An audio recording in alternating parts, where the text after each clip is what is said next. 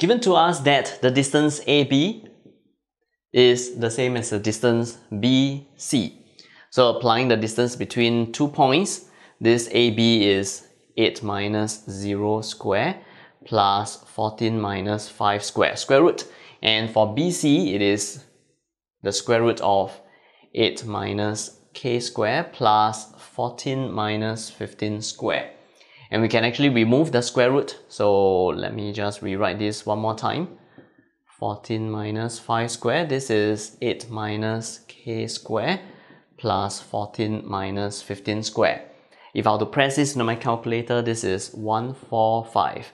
This expanded, it is 64 minus 16k plus k square.